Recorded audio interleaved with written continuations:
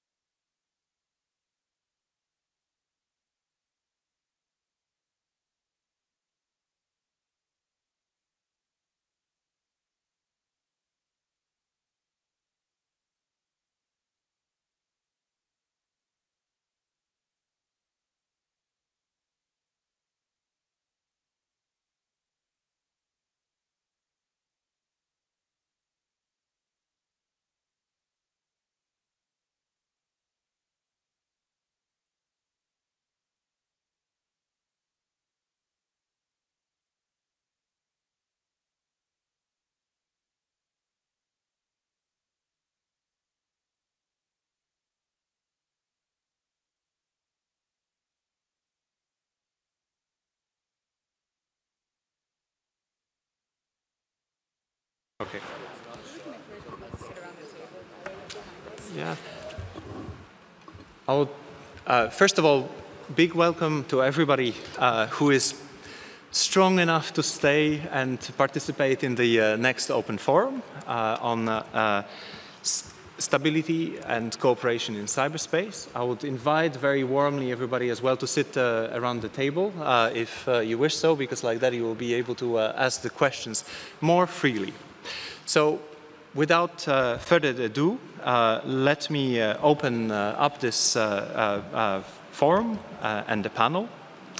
I have a really a great setup of speakers for you today. We have a, maybe starting with Her Excellency Lata Reddy, who is a co-chair of the Global Commission on the Stability of Cyberspace and the former Deputy National Security Advisor of India. She also served as a commissioner on the Global Commission on uh, Internet Governance, uh, the Bildt Commission, and has extensive experience in foreign policy and bilateral, regional, and multilateral negotiations. I have also uh, with me Mr. Wolfram von Heynitz, who is the head of cyber uh, policy coordination staff of the German Federal uh, Foreign uh, Office member as well of a German member of the group of governmental experts. Previously, uh, Wolfram uh, held different positions uh, such as research commissioner of the German Foreign Office and a member of its policy planning staff, specializing in cyber policy and cybersecurity, as well as he served in numerous diplomatic positions throughout the world.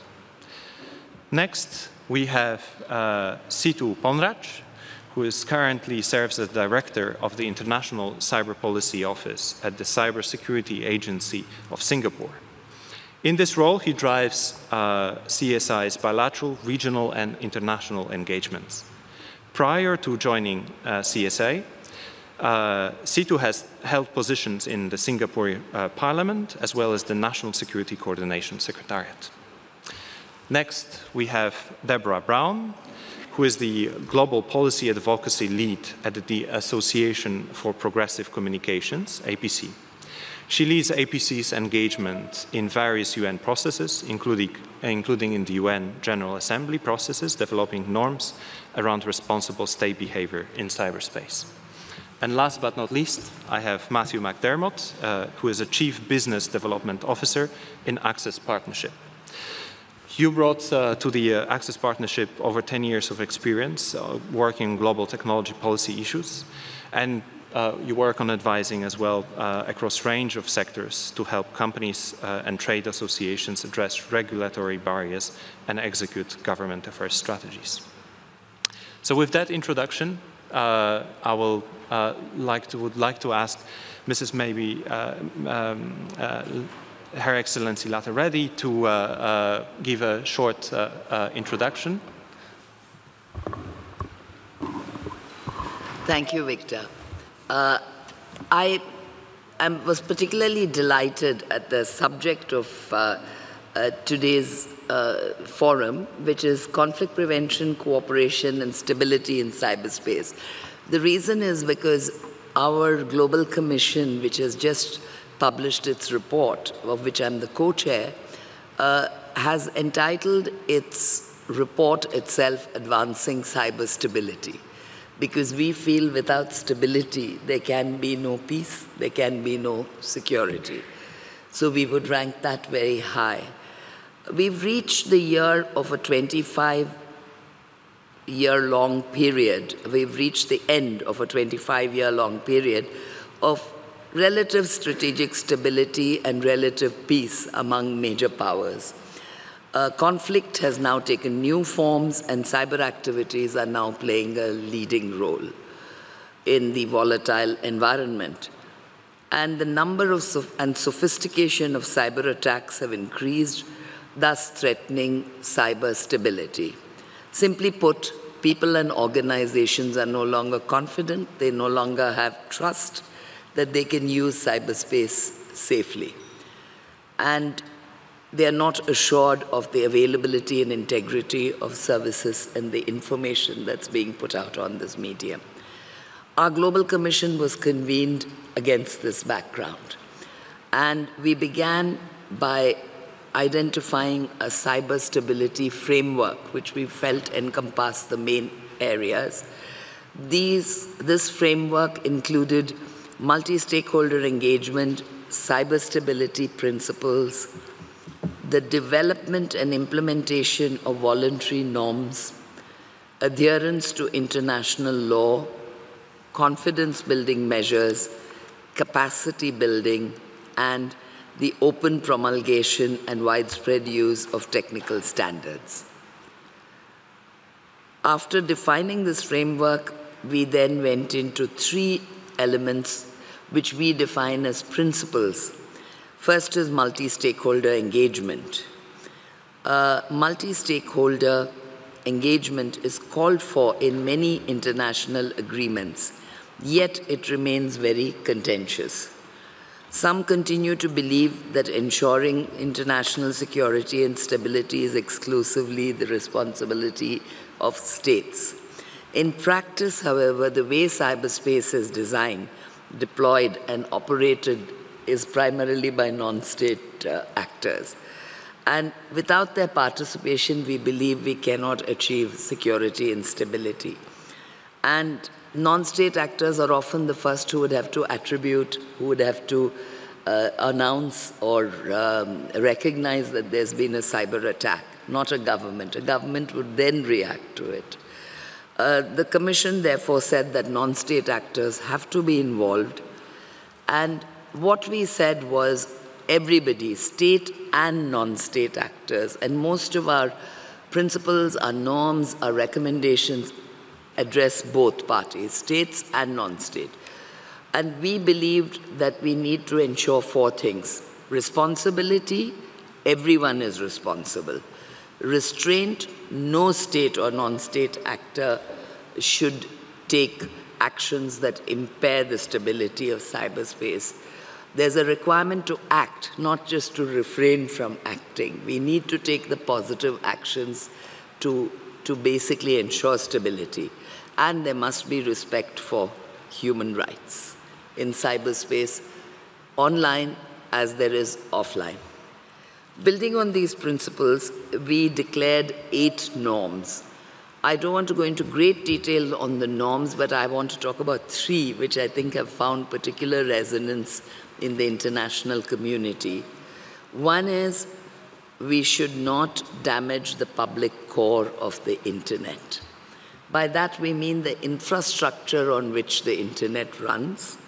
Secondly, we must not allow the infrastructure relating to electoral processes to be disrupted. And here we make no distinction between democratic systems and non-democratic systems. Every electoral process has to be respected.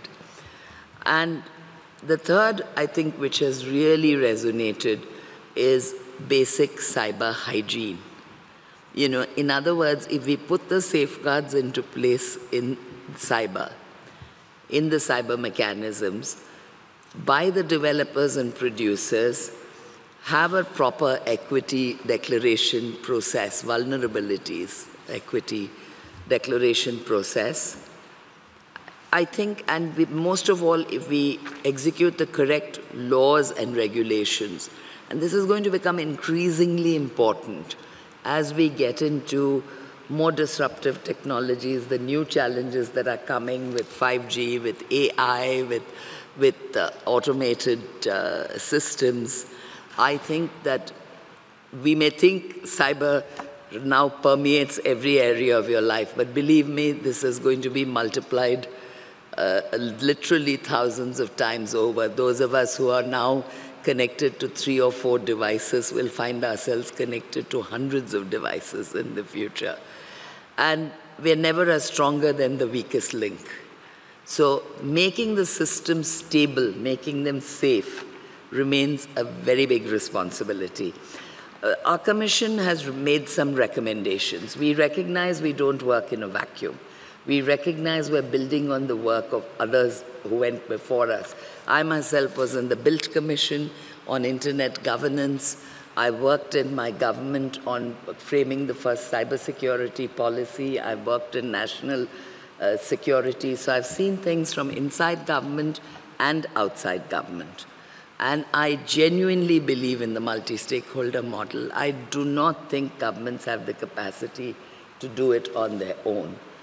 Uh, the second thing which I would emphasize is we need to have those difficult conversations with those we perceive as adversaries. It's very easy to sit in very comfortable little cliques of like-minded people and talk to each other. You're preaching to the converted. The trick is how are you going to convince people who don't come necessarily from the same method of thinking about very fundamental issues as you how do you convince them that this is in a common global interest to adopt certain uh, measures? We are engaging in different groups. We're engaging in the IGF. We will be engaging, and we have engaged already with the open-ended working group and the UNGGE in the UN. I've just finished a meeting today with a group of parliamentarians who have gathered here in the IGF for the first time. And lawmakers, leaders, political leaders are realizing that this is something that has to be taken up at the highest level. Uh, my own prime minister in India has said that he does not have one single bilateral interaction with any leader where the question of cyber is not raised. Uh, I think that's indicative. I think we've created awareness. Now the question is how do we bring in stability? And, uh, you know, I've enjoyed all my interactions with every single group on this. So I'm hopeful. I believe we are all looking for the same thing. The question is, what is the right path to take to lead to it? How do we coordinate all the many efforts, the very sincere, well-meaning efforts that are going on around the world? And we hope that uh, through our little report, we have made some contribution to this, uh, to this effort. Thank you. Thank you very much. I think that I really liked uh, uh, your approach uh, and what you described to a challenge of norm, building, how you do it, and also the fact that indeed, you know, there is responsibility for everybody, every part of the cyber, every actor of the cyberspace, be it from the public sector, uh, private sector, or civil society, has unique responsibilities and, and, rights to do so. Wolfram, could I ask you to continue actually with, uh, uh, with a government perspective? Oh, this one. Oh, fine. Technique. So, yeah, I would like to emphasize also the point that stability in cyberspace is a, I wouldn't call it a, needs a framework, it needs a patchwork, basically. It is a patchwork. And we shouldn't focus to replace the patchwork through a unified model that won't work, but we should work on making the individual patches stronger and also strengthen the seams between the patches. So what are elements of stability in cyberspace? Well, first, first of all, you have, of course, the UN groups. We have this year, for the first time, we have two groups, an open-ended working group and a group of government experts working for stability in cyberspace. They do this on focusing, identifying threats to stability in cyberspace by working on how international law applies in cyberspace, on norms, voluntary non-binding norms for responsible state behavior in cyberspace, on capacity building and on confidence building measures. Quite frankly, it's difficult to achieve progress in these groups at the moment as the geopolitical climate is not doesn't stop in cyberspace. So the same confrontation we see in other area of politics, we also see in this area of politics.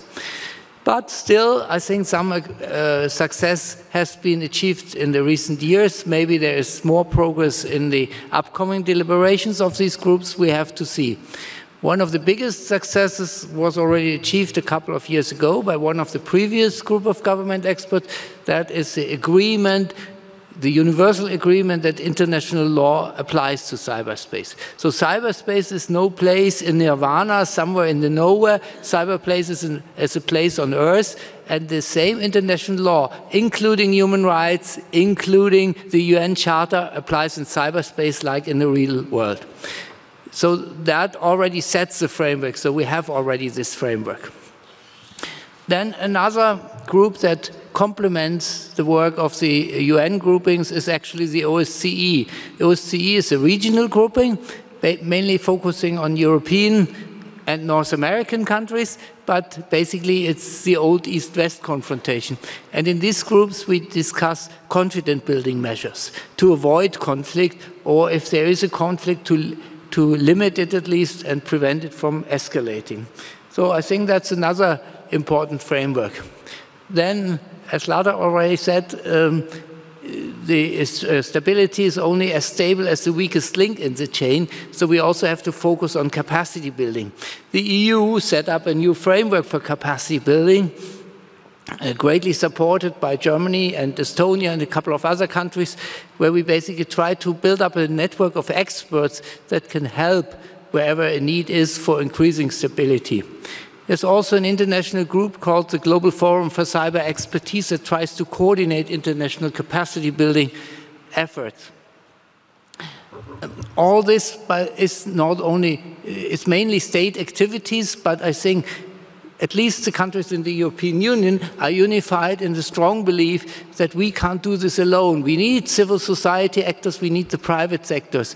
95% of the resources of the internet are owned by private companies the key factor of the internet is that it enables user to use user communication. So we have to enable the individual and companies who own the resources to play their part in stability. That's why the UN groups I talked about before, they started outreach processes. Unfortunately, the same country who uh, advocated the OEWG, the open-ended working group, then blocked the participation of a wider NGO community, but we're going to have next week in New York deliberations to get more voices into the process and to bring the process forward by, by that. Germany also took over the task of implementing recommendation five of the report, of the high-level panel report of the UN Secretary General, which basically deals with increasing global cooperation, digital cooperation, or basically linking the IGF, the very place where we are right now, uh, with other bodies and basically making it more relevant for decision making. And so we're also looking at from that angle how we can increase cooperation. Last but not least, all these norms and guidelines, and there are also, and I didn't talk about that because Reda did it also a lot of guideline and principles involving the private sector. They're only as good as people, companies, individuals behave accordingly, and particularly states act accordingly to them. So what do we do if countries don't respect these rules and regulations? So strong, another strong belief we have is that bad behavior in cyberspace must have consequences. Otherwise, we won't be able to create stability. So for that, within the EU, we created something which we colloquially refer to as a cyber diplomacy toolbox, which is a set of measures which we can use in case there is a serious cyber attack and we identify who is responsible for it, we can uh, take a couple of measures, and the harshest of it would be, of course, cyber sanctions. Sanctions against individual or entities who are responsible for that. And this is not, not a weak weapon, that's a very strong weapon, which we hope will have an impact that rules are respected in the first case, and if there is a violation of international rules and order, that the perpetrator basically returns back to good behavior. So it gives incentives to return to that. Of course, for EU countries, the principle is always that these um, measures has to be in accordance with international law and in respect of human rights. So this is a key principle we have in that. I think I stop there.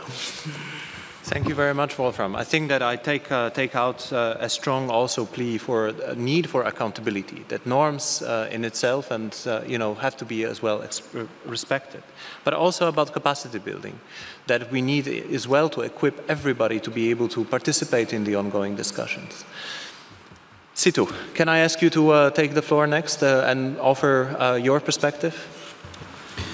Thanks, Victor. I would like to offer a perspective from uh, where, where I come from. Singapore is part of the Association of Southeast Asian Nations, or ASEAN. And essentially, when we look at the terms cyber stability, we look at cooperation, and we look at conflict prevention, the key way we look at all of this is that these are enablers they enable economic progress for a region of 630 million people who live in countries which are very spread out in terms of capacity, which have diverse histories, diverse challenges, diverse uh, cultural uh, values. And when we have cyber stability, it acts, and uh, cyber security, it acts as an enabler which allows people in this vast region and across the world to, to access economic progress, but not just economic progress, it also allows many people to access better living, job opportunities in the digital future. So this is how we look at the whole uh, idea of cyber stability and the need for cooperation. The digital future is something that is, a, is with us today and many countries are reaching into it. Uh, we, we like to use the imperfect analogy of, of a sports car with brakes. If you think about it, cyber stability or cyber security uh, is, is, are the brakes. And uh, if the digital future is the sports car, if we want to go quickly, then there's a need to have good brakes. It's self-evident. And I think when we approach it from that, from that perspective also, Many of the things that my co-panelists spoke before me, uh, international law applying to cyberspace, uh, CBMs, uh, confidence building measures, uh, capacity building, rules, norms, and principles of state behavior in cyberspace then become important because they facilitate the stability and the trust that's needed to achieve this. So from our perspective, we, we have moved forward as a region and uh, this has to be done with political will, which is why we have discussions at the UN, but also in the region. In 2018, uh, in ASEAN, under Singapore's chairmanship, uh, the ASEAN leaders issued a first statement, the first ever statement on cybersecurity cooperation, which actually brought together all these principles and strongly supported the idea of a rules-based cyberspace which will allow everyone, all stakeholders, to act with trust and confidence and reach uh, reach the sort of potential that the digital future is holding for us. Just this year, uh, in, in the ASEAN Ministerial Conference on Cybersecurity that was uh, uh held in Singapore, the ministers of the ICT and cyber confirmed last year's decision to subscribe in principle to the 11 norms of state behavior recommended in the 2015 UNGGE report, uh, making ASEAN the first and up-to-date, the only regional grouping to do so in a document like that. And this year the ministers uh, have made a progress by, we, we made a chart, a norms chart where we put out all the 11 norms, and then we picked out the ways in which we will need to build capacity uh, with inputs from all the ASEAN countries, and, and, we have set up a working committee which will now develop a plan to build capacity. So allow me to finish by making three points. The, the three points that I would like to make in which countries and multi-stakeholders will need to work together I think the idea is we have all the agreements on paper, very good agreements on paper. It is time for us now to identify the gaps. And uh, one of the things that Singapore, as a small, highly networked state, believes very strongly is there will always be disagreements. And uh, there will be 20%, perhaps 30% disagreements, but there's 70% that we agree on. And when we identify the gaps, we need to then work to, to build capacity. This is something that developing countries have, have, we, have been in conversation with us. That norms are not, or stability, the elements of cyber stability do not themselves implement themselves. But there is a need to build coordinated, uh, to have a co coordinated, robust effort at capacity building and addressing the gaps, awareness building, and this will mean identifying the resources, the partners, and also the metrics behind capacity building. I think something that Singapore is very keenly looking at, and we are working on this, is how do you know if capacity building is successful? Millions of dollars are being spent, and we need to find out so that we know ourselves if we have reached a goal. And this is where we find that, and one of the key uh, cornerstones of our capacity building efforts in Singapore, we have set up a $30 million Center of Excellence for Capacity Building for ASEAN. And one of our key fundamental uh, principles as we run programs is that None of the programs are run by government alone. We work with companies, we work with NGOs, we work with uh, uh, civil society groups to deliver training. And why? Because, as Lata put it so eloquently, government does not have all the answers. So I look forward to this conversation very much. Thank you. Thank you very much. I, I really liked uh, uh your uh, points on that we need to follow up on political engagements and uh, putting also assessing results how we uh, how we make that that's an important um, element and also that there is a space of building common denominators that we can agree on uh, even better. Deborah, over to you for uh, civil society perspective. Thank you very much and thanks for the invitation. I'm going to share a, civil society perspective on some of the issues that we've discussed already and really appreciate the recognition from the previous speakers about the role of civil society. I'll start by explaining a little bit why we care about this issue. Um, cybersecurity and security are important for a number of reasons, but we don't believe they're important for the sake of the internet itself. We believe they're important for the sake of people to improve their lives and exercise their human rights. So it's really important to come back to the, a people-centered approach to cybersecurity and stability. I'll speak a little bit about the role of civil society on some of the issues that were discussed already. So in terms of threats, civil society plays a role in monitoring threats and attacks. This is partly because we're often the target of cybersecurity threats, but we also have capacity, um, and when I talk about civil society, I also mean the broad umbrella of civil society, which can include the technical community and academia, which has been monitoring threats for a number of years now, and as the previous speaker mentioned, can often be the first actor to um, play a role in attribution. With regard to norms, civil society can play a role in monitoring compliance or lack of compliance with agreed voluntary norms. And um, in doing so, we can also play an advocacy role towards both governments and to the private sector to address threats and to comply with norms. We also play a role in raising awareness amongst uh, amongst society and, and, civil society and citizens about the threats that they face in cyberspace and how to be more secure online. And also about the fact that there have been norms that have been um, agreed to, which I think isn't as commonly known in you know, normal um, places outside the IGF, outside internet governance spaces, which we tend to um, talk about these issues.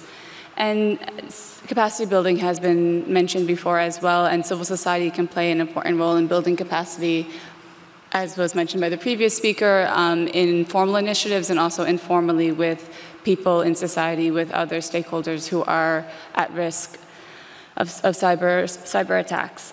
In many ways, civil society, as I said, is broad. It includes, can include the academia and um, the technical community, but NGOs in particular, human rights organizations, play a, a specific role because, as I said, they're often either attacked themselves or we work very closely with human rights defenders, journalists, and people and communities who are marginalized or impacted by discrimination who are either targeted by uh, cybersecurity threats or when there's a general threat, a data breach or other type of cyber incident, have an acute experience because of their position of marginalization or vulnerability in society.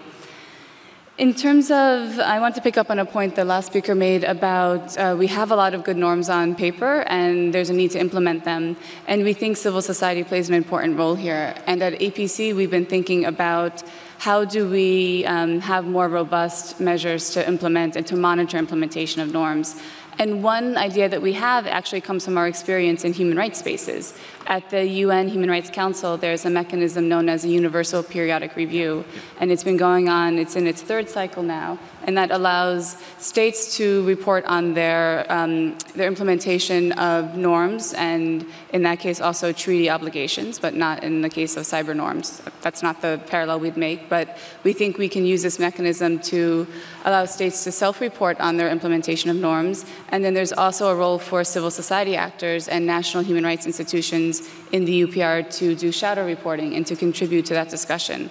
So what we're, uh, an idea we're developing is to see if a similar mechanism can be applied in the context of cyber norms and for states to be reporting on how they're implementing to allow also civil society, the technical community, private sector actors, and, and others to also be part of that discussion, and then to have that as a baseline to report against to see how progress is being made. Because we do feel there's quite a number of good norms that have been adopted in a voluntary nature. My colleague is actually part of the Global Commission, and we really um, value the work that's been done there in advancing norms. So there's also a possibility to have more norms adopted at the global level, but until there's an actual way to implement them and to monitor that, we feel that there's a lost opportunity and little progress will be made. Finally, I wanted to, you know, appreciate the fact that we're having this conversation in the IGF, which is a multi-stakeholder forum, and it's, it's, it's valuable to have it here, but it's also a bit frustrating that we talk about multi-stakeholder approaches to cybersecurity at the IGF, and then when we go to New York, we find that the conversation is much more limited. And as was alluded to, um, I forget the number, maybe around 30 NGOs were had applied and went through a whole accreditation process that was formally set up by the UN Office of Disarmament Affairs only to be rejected. They weren't able to participate in the first substantive session in September of the open-ended working group in New York, and um, the ECOSOC accredited NGOs were able to participate. So a few of us, APC one, was one of them, was, but it's quite frustrating to talk about multi-stakeholder approaches in multi-stakeholder places and then go to the places where the actual discussions are happening and to be shut out of those discussions, and also to the importance of having those multi-stakeholder discussions at the national level. So I think the lesson from us is, you know, it's, it's good to have these discussions. It's a place where we can share and exchange ideas, but we also need to see a commitment in these other spaces to bring other stakeholders, stakeholders to the discussion because when it comes to the more kind of decision-making spaces, we're often shut out. So I think I'll stop there.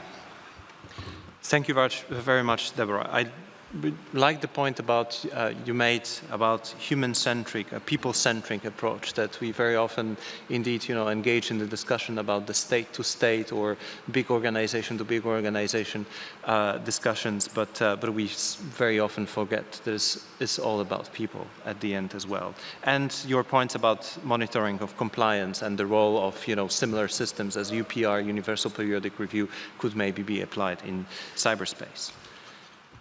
Last but not least, Matthew, because we talked a lot about private sector. so now, now it's your time to as well to give, uh, give perspective uh, from, uh, from that angle. Thank you, Victor. Uh, I'm going to bring a, a high-level private sector perspective to this debate around norms and, and try and put it in, in, in that frame. And, and, so, I mean, to start right at the beginning, uh, it, it is a truism that the internet is an amazing resource, an amazing tool that's allowed the seamless sharing of information around the world. And that is a platform on which a wide range of businesses have been able to address the needs of citizens and consumers. A key reason for that success is the stability of the platform, the stability of the internet. This certainty allows the private sector to make long-term decisions about investment, about hiring, about entering new markets, safe in the knowledge that the rules of the road of the internet will, will at best remain broadly the same and at least be interoperable. However, the rise in importance of the internet to day-to-day life for citizens around the world has made it a target for those who wish to cause harm. It has also led to discussions around sovereignty, not just in terms of non-intervention, but also as an obligation to protect what is within a country's own national space. One fix to this is to find norms of responsible behaviour that generate trust within and between all members of the multi-stakeholder community. And the starting point for that is talking. Sessions like this one and the IGF in general are an important opportunity for the multi-stakeholder community to discuss these issues. I personally always enjoy learning at the IGF from perspectives that are geographically diverse and come from all communities. However, as has been mentioned before, currently much of the decision making is at the multilateral level. While steps have been taken to broaden participation in some of these groupings, more is required to ensure that best practice is available to all communities. As to repeat again, a network is as strong as its weakest link. It is in all our interests that cybersecurity best practice is available to be discussed in those meetings and then able to be as widely disseminated as possible. Now, debate on these issues can quickly move to the realm of high politics and international law. While important, that should not detract from the mundane issues which are just as crucial. CERTs should be set up and protected from attack. Countries should develop cybersecurity strategies, including the laws and regulations to ensure basic cyber hygiene. Mechanisms required to allow dialogue between countries, including forums where the private sector can participate to discuss experiences and work on improving cybersecurity best practice. We need to recognize that transparency is a friend of cybersecurity. By sharing experiences, we can learn from each other. Only with continued focus on confidence building measures and capacity building can we continue to have comfort in the stability of the internet. Now, I don't want to pretend that all of this is straightforward. The complexity of the issues at stake and the range of national views make it hard to reach consensus. At the multilateral level, these discussions are shaped by complex negotiations on balancing freedom of expression with terrorist use of the internet, on the nature and legitimacy of cyber attack, and by the larger tension between national sovereignty and universal values. To address all of these will not be a quick process. But there are positives to take from this. It is good news that more countries are concerned about cybersecurity and are engaging in these discussions. This presents the challenge that in future discussions of norms will need to encompass a broader range of ideas. The starting point has been discussion on arms control and non-proliferation, but now the debate has evolved to accommodate new technologies and a broader group of international stakeholders. To close, I will come back to my point that business likes certainty. In this evolving space, business is keen to support the ongoing discovery process for norms that will support the stability of the internet. In doing so, we need to avoid outcomes that result in internet fragmentation and ensure that we have norms that can be effectively operationalized. Thank you. Thank you very much. I, my take point, takeaway point uh, for your presentation is if I can quote actually the uh, report of the Global Commission, is that governments must focus on creating mechanisms that effectively incorporate participation of the private sector, technical community, academia, and other representatives of civil society. Uh, so without further ado, I would like actually to make the uh, panel as interactive as possible. So I would very much welcome any questions from the floor. Uh, and only in the case if there are no questions from the floor, I'll have my list of questions to panelists. So is there any brave person who wants to go and, and break the ice with the first question? Thank you very much, Victor, for organizing this panel. Uh, I heard it's also the first time the EAS is organizing something at the IGF, so I commend you for entering this space as well. Um, I had a question following uh, Deborah's suggestion of um, taking lessons from the UPR, the Universal Periodic Review process. Um, I was wondering how, because we talk a lot about implementation of norms, um, if panel members have uh, any idea how exactly the self-reporting would work. Um, would we take specific norms? Would we take all of them? Um, and maybe to start to brainstorm a, a, bit on which norms this would be possible for and which one we um, should maybe leave for a, a different um, process.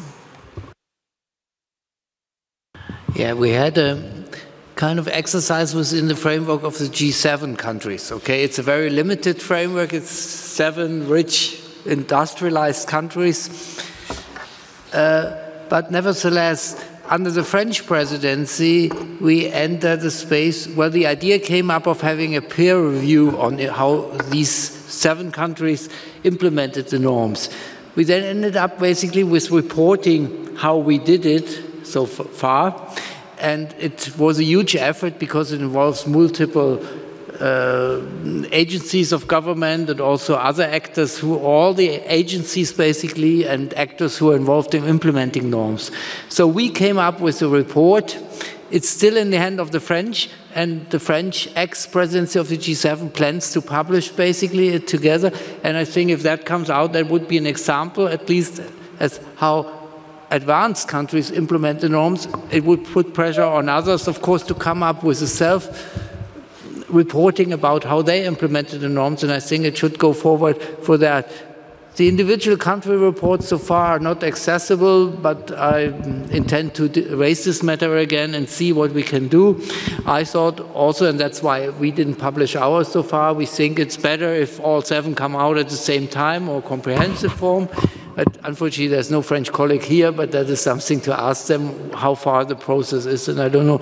So it's, it's not a universal periodic review, but it goes at least in the, in the direction because we're well aware that it is important to implement those norms and also to give an example, not only to show off how what we did and to point at failures, maybe, or recognize failures ourselves, also to give examples, because not always the non-implementation of norms, norms is done uh, with, because there's bad thinking behind that. Sometimes it's just the lack of capacities or the lack of knowledge on how to do it.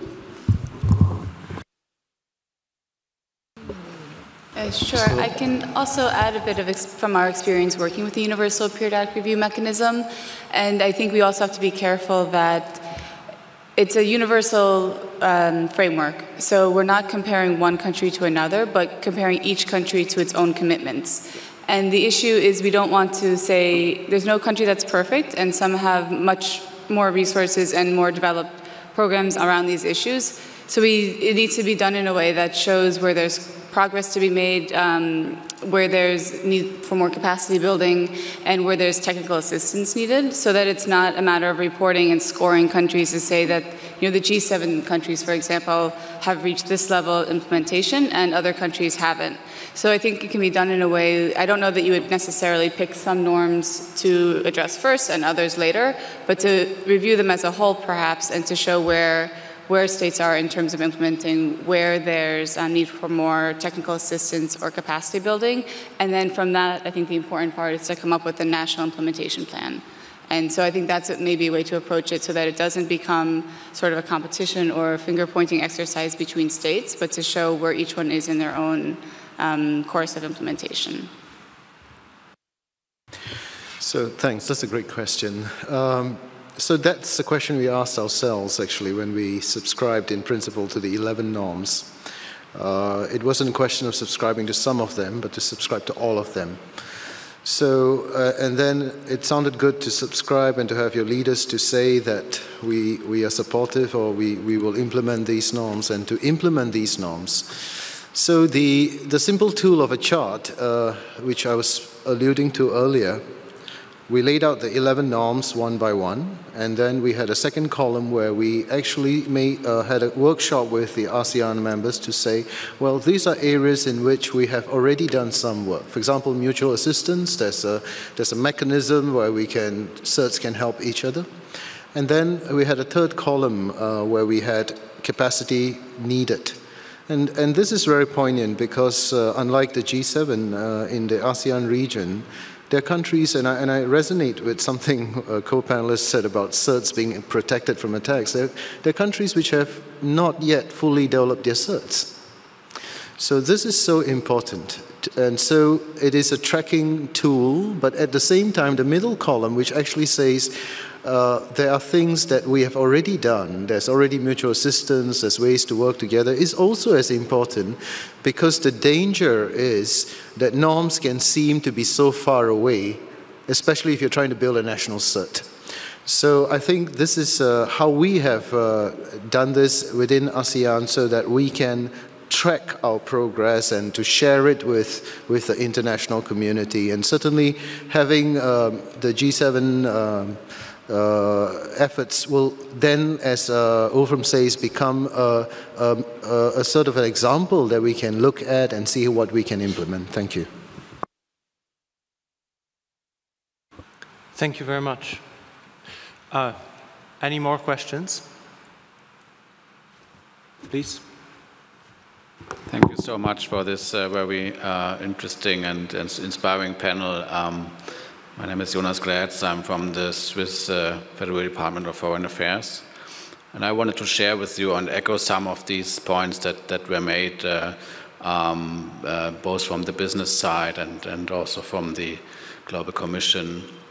Um, because we want to start next year, we also assess that it is important to have um, more buy-in from, from, from, from the global industry into implementing, implementing the norms. So what we want to do next year is to start our Geneva dialogue uh, where we want to have a really global um, exchange among, among different business players which are active in the field of uh, cyber security and uh, uh for which cyber security is relevant, how they can contribute to implementing the existing norms and and how they see their role because we think there is only a few actors currently active in this field and uh, we want to build first of all capacity, um, raise awareness about those norms with additional players that are not yet part of the discussion and then also come up with, uh, with uh, sort of uh, um, best practices on implementing uh, the norms in, at the end of a multi-year, of course, process.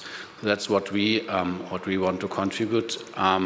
And then also a question, I was participating this, this morning in another panel on uh, questioning the cyber making boundaries, cyber, cyber norm making boundaries or something like this was called. And there was a, some wariness because we had, a, we had both uh, uh, CSIRTs and CERTs in the room and, and then more policy people. And there was a kind of a wariness in the room uh, uh, of, of the technical crowd, so to say, uh, what are you doing at the policy level? And, and if once these norms get implemented, are they not interfering with our day-to-day -day work? Because they were fearing that uh, there would be sort of a growing awareness amongst governments that what they are doing is actually going against some of these norms. And, and, and then so they said we have trusted relationships uh, among ourselves, and now the governments would come in and kind of uh, uh, uh, uh um, um, stop these, uh, stop these uh, uh, collaborations which are already taking place on a technical level. So how do you see this? Um, um, how do you see the, how can we improve the fit between the, the norms, the norm makers and, and then how it is implemented on a technical level?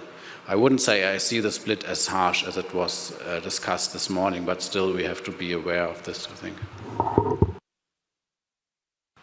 Is there any uh, anybody who wants to take uh, first the question? I, I think, you know, uh, I certainly have always seen this very uh, delicate balance between uh, the, the, technology innovators and those who are worried about regulation, right? And I think where CERTs are concerned, CERTs tend to feel that they are responsible for maintaining law and order. They are responsible for the lives of citizens also, where there's a threat to life from a cyber attack. And uh, so CERTs would argue that they should, in a sense, have certain freedoms to act. It's not just CERTs, I would also include intelligence agencies, I would include uh, law, law enforcement agencies in this grouping. Uh, I think it is a very delicate balance. I used to often say one of the hardest things about discussing cybersecurity in the government is the need to maintain that balance between privacy and, uh, and national security because you have to respect the rights of your citizens. Uh, in many countries, including mine, uh, the Supreme Court ruled that privacy is a fundamental right of the citizen. So when it comes to then having to take certain measures in the interests of national security to protect the life and property of citizens, are you then justified in invading that, uh, that privacy? So I think the question is whether for CERTs, whether for any government agencies, there should be a very clearly laid down legal and administrative procedure to be followed. And provided that is rigidly implemented, followed, and people who deviate from that by using, uh, let's say, uh, not going through the proper procedure and simply engaging a, a, a company and saying do something that's illegal, should then be held to account. That's the real issue.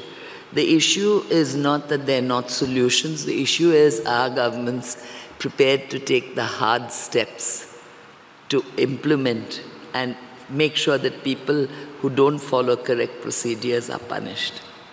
Thank you. Matthew and then Wolf.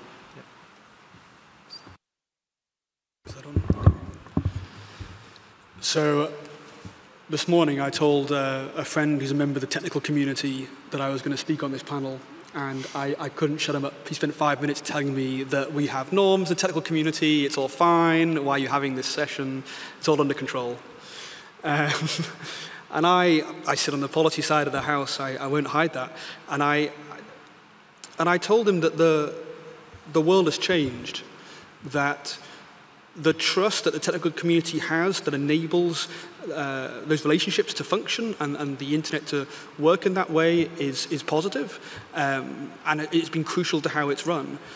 But the, the, the debate has, the, the increase in the number of people involved in the debate requires light to be shined on that discussion as well, requires transparency there. But equally, we can't move too quickly. We have a trusted a series of trusted relationships now, and you can't just tear those apart. I think through the, the norm building processes, uh, I mean, both, both at the UN level, at a national level, at a regional level, the, the, the core goal of those is to develop um, to, to, retain that trust and allow it to continue so that as we move from uh, the, the, current arrangement to, to a new way of working, that it is seamless, uh, that the internet remains safe, uh, and to come back to my point, that, that we retain the, certainty under how the internet uh, operates and is governed. So um, thank you. I, I thought I'll share a story in response to your question. So in our capacity building, we invite since 2016, we have been inviting three groups of people from each government. One is the policy person, one is the incident response uh, person, and the third is the foreign affairs person. And, and what happened is that the first year we had a capacity building, we had a tabletop exercise, and we said all three of you will represent your country. We, this is the scenario, there is a state-sponsored attack. Uh, now what do you do? It was amazing because the incident response person quickly jumped in and said, Well, this is what I'll do, this is what I'll do. And the policy person looked mildly interested, the foreign policy person looked bored. so then we, you know, we stopped and we said, look, you know, this is a state-sponsored attack. We you know, it's just an, any anonymous state. And still, it, this is what happened. But what it showed us was the need to have such activity between the technical, the policy, and the foreign policy person because it is not evident, even within government. So, with the word multi stakeholder, we also understand cybersecurity to be multidisciplinary. It is something, and I, and, I, and I live it every day because if you notice, I come from the Cybersecurity Agency of Singapore. So I need to explain to my colleagues who think it is very wonderful to go to Berlin in the winter uh, or in the cold weather that uh, why, why I'm relevant to their work. So I think that that is the nexus between that we have to create. And then we also have exercises in Singapore where we work, where we work with the uh, CII operators who are industry. And so I think this is where the dialogue happens, but it has to happen around real scenarios that we can understand each other because the technical people have a lot to teach us, the industry have a lot to teach us about our blind spots. Thank you. Okay, two points to make. First, to Sito, come back in February. You ain't seen nothing yet or anything. This is cold weather in Berlin. Uh, but having been recently in Singapore, I understand where you're coming from. Um, second more important point on the question, I want to remind us of something I think Deborah said in the beginning. This is not about the internet, this is about the people. And I think this is the core element about it. So I gladly welcome dialogue with private sector companies, etc. But we can't leave the rulemaking and the norm setting to private companies. We have to outbalance it at least by two other processes. One, we have to involve civil society representatives of actually the users, also sometimes the victims of, of, of policies, and basically civil society as a whole. And secondly, most important, I think still that that norm controls need a democratic control. And states, at least democratic, eh, organized states have a specific role in that because they normally, through their government bodies, represent the people, try to outbalance different conflicts of interest with themselves. I think this is an important element to, to put into that. It doesn't mean we shouldn't have the dialogue and I spend, I would say, half of my time talking to civil society, but even more probably to, to companies because I think it is important. Luckily, I think we universally come more and more to an agreement about that. If I look back even a year or two years, there was a big drive in certain areas, oh, we need our own Google principles or Amazon guidelines or whatever. And now, sometimes, don't want to mention some companies, but some companies come to me and say, look, Wolfram, it's fine with our guidelines, but now we run into difficulties because we are confronted with different norms at in each different state. If you look at self-driven cars, you know, you imagine the cars stop at the border because there are different rules. Or look at the US where now individual states are setting norms for privacy control. So now they come, oh, what a great thing the GDPR is in Europe. You know, you have a unified area where you set in a complicated process, in a democratic process, in a process with participation of all kind of actors. All could be improved, of course so I'm not defending that as the ideal situation, but these companies say this is actually the environment we need. So it's even in the interest of companies to have basically others participating in the norm setting, and particular role with democratic elected institutions. Thank you very much. I have a space for one more question. So are there any, uh, any volunteers for last question? If not, if there are none, I would like to maybe ask uh, each of you to have a, a, snippet of a takeaway of concluding remarks uh, before we uh, wrap up. Your Excellency, you want to start? I actually, my biggest takeaway is something Matthew said. He said transparency is the friend of cybersecurity. I think that's a great slogan because most people think cybersecurity is best served by secrecy, hmm. by acting behind closed doors. I think the day you recognize that transparency is the friend of cybersecurity, and thank you very much for that, Matthew. That's my takeaway. Wolfram, do you want to? Uh... The snippet would be it's complicated, but it's worth it. A slightly longer version of it would be um, I really appreciate the focus in this discussion on implementation of norms. I think that is really a, uh, promising avenue we should continue to go down. If you implement things, if they are successful in implementing norms, then the eagerness of building new norms and agreeing on new norms will also increase, I think.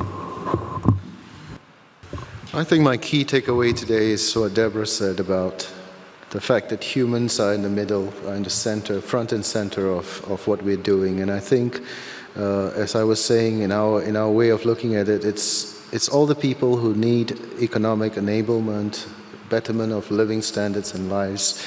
And that, I think, sort of crystallizes the need for us to work together. It is a team sport. Thank you. Thank you. Deborah. Thank you. I think I'll build on Matthew's um, takeaway or key point, which is that human rights are the friend of cybersecurity because we need strong cybersecurity to enable human rights. And it's through strong cybersecurity that um, we're able to do so. And so I think we often look at them as pitted against one another, but actually there's a right to security. There's a human right to security, and we can't keep looking at them at, at odds with each other because in the end we need both. Thanks. Matthew? People have taken my, my takeaway. I, I think I would channel my technical uh, community colleague and, and, and say, don't break what we have. Um, but then I'd follow that up by saying that what we have now is trust. And that as we examine these norms and look to develop new norms for the future, we can't forget that what we're trying to achieve is, is, is a place of trust. Thank you very much. My main takeaway will be that indeed multi-stakeholder approach is so enriching and that's why we need to not only preach it but also to implement that in practice and it was so such a great learning pressure, uh, pre uh, um, time for me uh, to uh, enjoy your presentations. We as the uh, European Union, uh, of course, want to indeed walk the walk and talk the talk. Uh, so we are uh, uh, entrusted our friends uh, in the uh, uh, European Union's Institute for Strategic Studies to, to undertake engagement with multi-stakeholder communities. And one of the very concrete sort of takeaways as well is that we are going to bring and sponsor a quite a vast number of civil society participants for the next uh, intersessional meeting of the Open Working Group uh, in New York. So thank you very much to all of uh, my distinguished panelists. Thank you very much uh, to you uh, as the audience and uh, hopefully see you next year, most likely in Poland, I guess, at the next IGF. Thank you.